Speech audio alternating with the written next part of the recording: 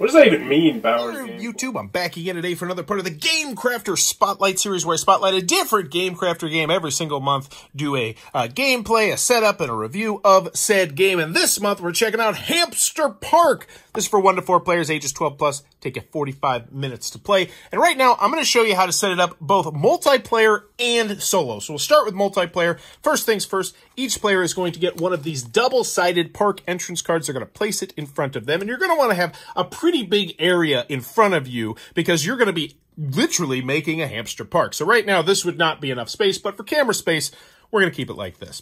Any of these cards that you're not using can go back into the box. Now that each player has their park entrance in front of them, you're going to put two hamsters, aka orange cubes, on top of there.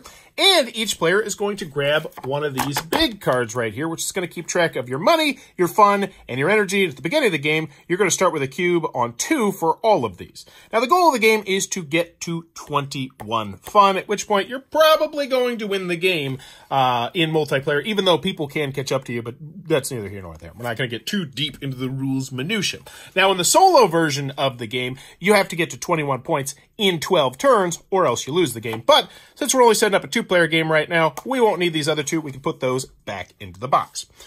Next, you're going to get the Hamster Park Square cards. You are going to shuffle them up, and you're going to place five out there. This is going to be called the buy row, and you'll be able to buy these cards and add them to your Hamster Park. Next, you're going to make sure you place the orange cubes in the center where everyone can reach them.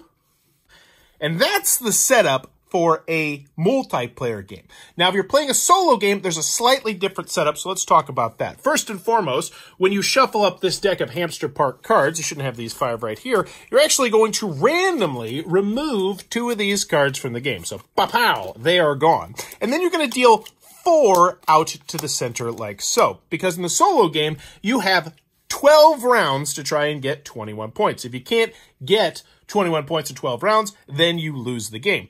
In the normal version of the game, when you purchase a card, you will replenish it. In the solo version of the game, all the cards that you don't buy will whew, go away, and you'll get four new cards each round. But that is how you're going to set up Hamster Park, both multiplayer and solitaire. If it looks like it might be your cup of tea, be sure to check out that Game Crafter link down below. And if you ever have dreams and aspirations of creating your own board game, like Drew Gomez did, then you need to check out the Game Crafter. It is undoubtedly the best website, in my personal opinion, on the planet to get your prototype made. And then you can even sell it on their website. Heck, it might even end up in my hands and eventually become a Game Crafter Spotlight game. But that's Hamster Park. If you're enjoying the content, please be sure to click on that subscribe button down below as I'm trying to reach 30,000 subscribers in 2023 to make it my biggest year ever. And as always, bye-bye.